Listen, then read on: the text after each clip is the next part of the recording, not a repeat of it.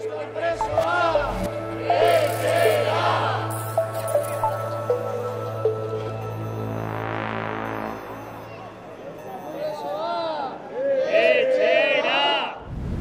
Iruñean, Gazteizen, Donostian eta Bilbon, sindikatuetako ordezkariok kalera atera gara beste behin Euskal Preso, Ieslari eta Deportatuen etxeratze bidean berresten garela esateko.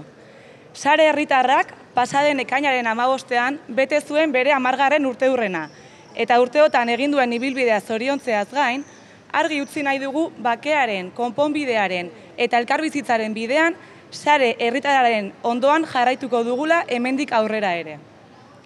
Handiak dira hamar urteotan denon artean egindako lorpenak, baina jakitun gara oraindik langileok ere badugula zeregina euskal gizarteak jomuga duen elkarbizitzaren bidean.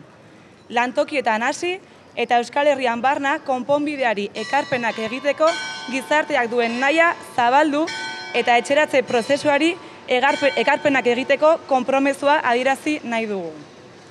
Amaitzeko, udan eta aurrerantzean, sare herritarrak deituko dituen mobilizazio eta ekimenetan parte hartzeko deia luzatzen diogu Euskal Herriko langilego zabalari.